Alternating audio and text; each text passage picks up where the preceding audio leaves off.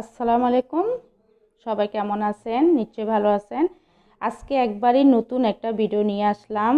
নতুন একটা জামা। দেখতে আপনাদের খুবই পছন্দ হবে জামাটা।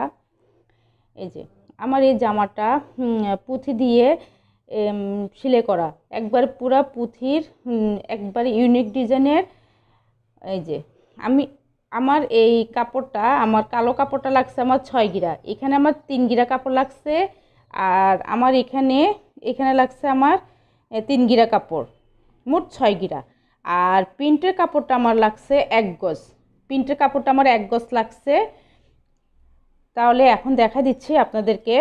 এই যে, এটা সোজাসুজিভাবে আমি সেলাই করছি। এই যে, এরকম এরকম দাগ দিয়ে আমি সোজাসুজি আধা ইঞ্চি আধা ইঞ্চি করে আমি সেলাই, এখানে আধা ইঞ্চি, ওই পাশে আধা ইঞ্চি, মোট এক ইঞ্চি পরিমাণে আমি এভাবে সোজা সোজা সেলাই করে দিচ্ছি। এই যে এখানে এরকম সোজা সোজা করে সেলাই দেওয়ার পরে আমি এই জিনিসটাকে আমি, এই যে এভাবে কাপড়টা যখন সোজা ছিল তখন আমি এভাবে আনছি। এই এভাবে, তারপরে এভাবে এরকম করে পুঁথি এক এক ঘরে একটা পুঁথি লাগা দিছি আচ্ছা আমি পুরা জামাটা দেখাই। আমার ভিডিওটা যদি ভালো লাগে তাহলে লাইক করবেন কমেন্ট করবেন, আর আমার চ্যানেলটাকে সাবস্ক্রাইব করে দিবেন আপনার বন্ধুদের মাঝে শেয়ার করে দিবেন, যেন আপনার বন্ধুরাও দেখতে পারে, তারা যেন সুন্দর এই জামার ডিজাইনটা তৈরি করতে পারে। একবারই সোজা, শুধু ডিজাইনটা হচ্ছে আপনার মনের থেকে করলে হবে। কাটার সিস্টেম সব একই রকম, শুধু ডিজাইনটা হচ্ছে আপনার মন মতো দিবেন।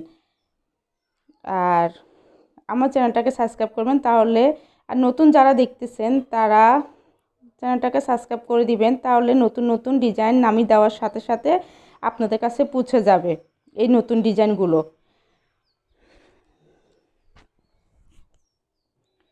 এই যে, ভালোভাবে একটু খেয়াল করেন আমি কাপড়টাকে, এটা তিন গিরা কাপড়।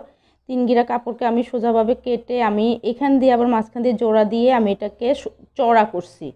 এটাকে তিন গিরা কাপড়কে আমি চড়া করছি এভাবে চড়া করে তারপর আমি এভাবে এক ইঞ্চি এক ইঞ্চি পরিমাণের কাপড়টাকে আমি সেলাই করে দিচ্ছি। একটু ভালোভাবে লক্ষ্য করলে আপনারা বুঝবেন, এই যে এভাবে এবার সোজাসুজি সেলাই করে দিছি সেলাই করে দেওয়ার পরে আমি এইটাকে এভাবে এভাবে করে দিচ্ছি। এভাবে একটা পুঁথি লাগাইছি, আবার ঠিক এইভাবে আরেকটা পুঁথি লাগাইছি। তাহলে জিনিসটা আমার এভাবে হয়ে গেছে। এই যে আবার এভাবে আরেকটা পুঁথি লাগাইছি।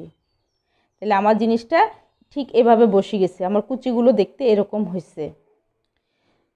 হাতায় আমি দিছি ম্যাগি হাতা, এই যে। ম্যাগি হাতা দিছি, গলায় দিছি আমি পাইপিন এই কাপড়টা কিন্তু জোড়া। এটা কিন্তু জোড়া কাপড়। এখানে অর্ধেক কাপড়।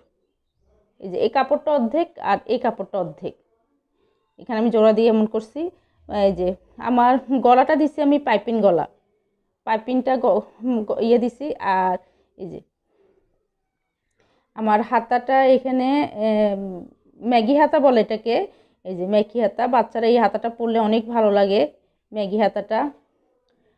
দুই যাতে আমি এভাবে দিচ্ছি আর আরেকটা জিনিস নিচে আমার, এই যে কুচিগুলো,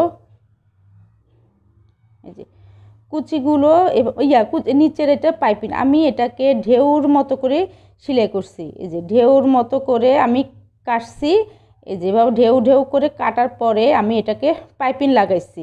এটা পাতলা কাপড় তো, এই জন্য পাইপিংটা আমার ঠিক ইয়ে হয়নি, কিন্তু ঢেউটা আমার পরলে জামাটা ঢেউটা সুন্দর বোঝা যাবে।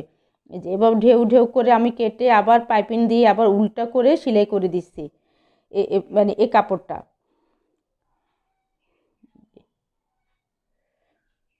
আমি একই রকম ডিজাইন আরেকটা সেলাই করে আপনাদেরকে দেখাবো। এই যে, এইভাবে আমি, এই যে এগুলি ঢেউর মতো করে আমি সেলাই করে দিচ্ছি। এই যে যেরকম করে আমি ঢেউ ঢেউ করে আমি পুরা জামাটাকে ঢেউর মতো করে সেলাই করে দিছি যদি আপনাদের ভালো লাগে তাহলে লাইক করবেন, কমেন্ট করবেন, আর আমার চ্যানেলটাকে সাবস্ক্রাইব করে দিবেন আপনাদের বন্ধুদের মাঝে।